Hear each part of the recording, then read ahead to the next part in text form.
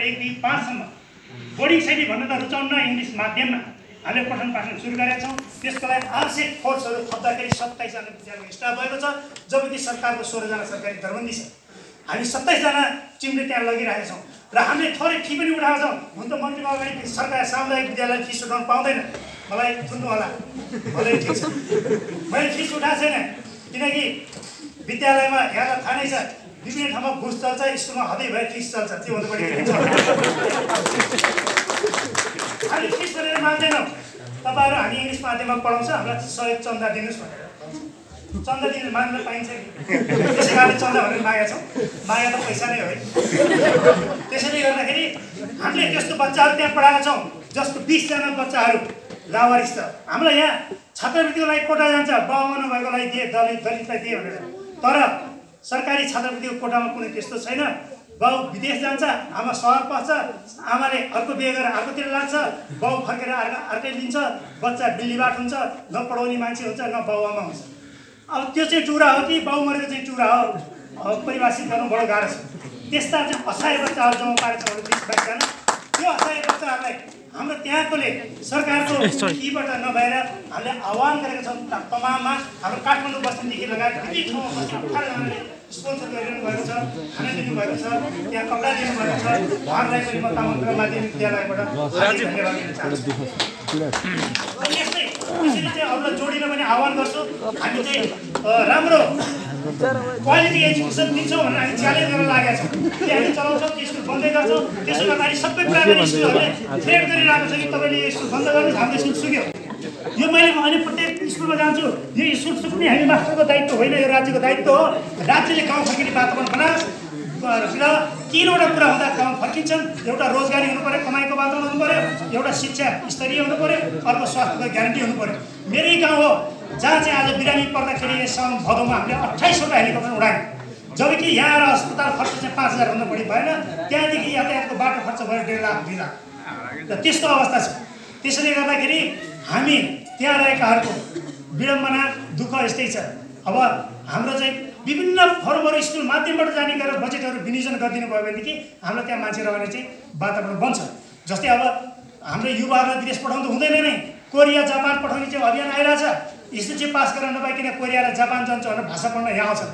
यदि सरकारले यो भाषाको पढाइ त्यो सामुदायिक विद्यालयमा हुन्छ त्यहाँ पढाइ पाउँछन् तर पाउँदैन मात्रै भनिदिनुहोस् मान्छे फर्केर गाउँ जान्छ।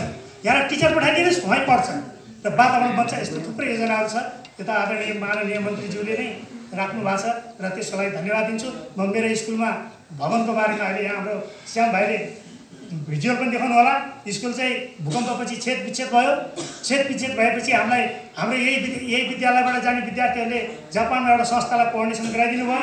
उहाँको मार्फत एउटा बिल्डिङ बन्यो त्यस्तै संस्थाहरू छ्याक्षति गए र त्यो छ्याक्षति जाँदाखेरि एउटा पा भन्ने संस्थाले हामीलाई छ कोठाको बिल्डिङ बनाइदिनु भयो र बिल्डिङ अत्यन्तै एसीवाला बन्यो। एसीवाला मतलब जाडो महिनामा कहिले जाडो हुँदैन भने गर्मी महिनाभित्र बस्नै नसक्ने छ कोठाको बिल्डिङ छ। मैले अनि अनुरोध गर्छु कि हामीलाई बिल्डिङ बनाइदिनु तपाईँको दामी बिल्डिङ छ कहाँ बनाउने यस्तो राम्रो? हो। एकदम वृद्ध सत्तरी वर्षको महिलाले लिपस्टिक लगाएर सिँगार पिटार गऱ्यो भने राम्रो छ बाहिर। तर के गर्ने? भित्र गएपछि पढ्नै सक्दैन। फागुन चैत वैशाख जेठ असार साउन भदौ असोज गर्मीले भित्र पस्नै सक्दैन। त्यसैले गर्दाखेरि अनि मैले भन्छु यो ठिकै छ। किनकि हामी सामुदायिक विद्यालयहरू हाम्रो उत्पादन भएका जनशक्तिहरूलाई अरब मलेसिया दुबई कतार पठाउनुपर्छ। त्यहाँको गर्मी खप्नको लागि अहिलेदेखि नै वातानुकूल बनाउनु पर्यो होला भनेर हामी परिभाषित त्यसैले किनकि हामी चाहिँ बोर्डिङ पढ्ने विद्यार्थीहरू त सक्षम हुन्छन् सबल हुन्छन् र उनीहरू चाहिँ र युरोपतिर छिर्नुहुन्छ र राम्रो कमाइ गर्नुहुन्छ। हाम्रो रिमिटेन्स भित्राउने उत्पादन हामी पैदा गर्छौँ। त्यसैले गर्दाखेरि त्यस्तो छ। र मैले अरू विद्यालयहरूको लागि जिल्ला शिक्षा कार्यालय मार्फत गइराखेको छ बारम्बार खिचिरहेको छु। हाम्रो आदरणीय समुद्रीले प्रयास गरिराख्नु भएको छ त्यसलाई म यहाँलाई धन्यवाद दिन्छु। उहाँको भनाइ राम्रोसँग सुनाइ भएको रहेछ। मैले नवराष्ट्रलाई भेटेर भनेको थिएँ बिल्डिङको लागि म त्योभन्दा बढी भन्न चाहन्छु। अब हाम्रो गाविसमा प्रत्येक गाविसमा खुला दिशामुक्त कार्यक्रम घोषणा गरिन्छ। तामझामका साथ बाजा बजाइन्छ र स्कुलको विद्यार्थी र शिक्षकलाई आउन भर्ती गराइन्छ। तर यो राज्यको अथवा गाउँपालिकाले कि त्यो विद्यालयमा पर्याप्त शौचालय छै छैन भन्ने कुराको अनुमान गरिँदैन। सार्वजनिक स्तरमा पर्याप्त मात्रामा चाहिँ शौचालय नहुँदासम्म खुला दिशामुक्त राज्य हुन सक्दैन। त्यसैले गर्दाखेरि हामीलाई खुला दिशामुक्त घोषणा त गरिन्छ विद्यालयमा पर्याप्त शौच शौचालयको अभाव सधैँ नै भइरहेछ। यसको साथसाथै मलाई यहाँलाई धेरै लामो समय लिए जस्तो लाग्न थाल्यो र अरू कुरा त पछि गर्दै गरौँला। र हामीले यहाँहरूलाई तिनवटा चारवटा अप्सनमा पाँच वर्ष योजना बनाएर आइरहेको छ।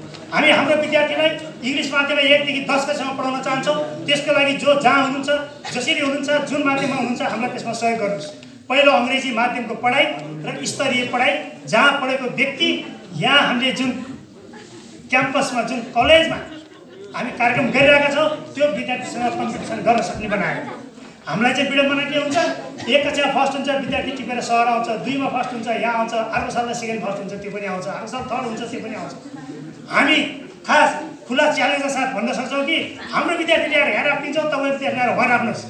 हेरौँ हामीले पढाएको विद्यार्थी कति पास हुन्छ तपाईँले पढाएको विद्यार्थी कति पास हुन्छ। हामी पुरै असक्षम विद्यार्थीलाई पढाएर सरकारी मापदण्ड तेत्तिस पैँतिस पचास प्रतिशत पास गरेर शिक्षकहरू असक्षम र सामुदायिक विद्यालयहरू असक्षम भइरहेका छन्। तर एकदम सक्षम विद्यार्थीहरू ल्याएर सहर र इङ्ग्लिस माध्यम बोर्डिङमा पढाएको छ त्यसले गर्दाखेरि पर्सेन्टेज हाई भइरहेको छ। त्यसैले गर्दा यो ट्रेन आउट हुने माइग्रेसन हुने क्रमलाई रोक्नको लागि पनि म अनुरोध गर्छु। अब हामी अर्को एउटा अङ्ग्रेजी माध्यमको हाम्रो डिमान्ड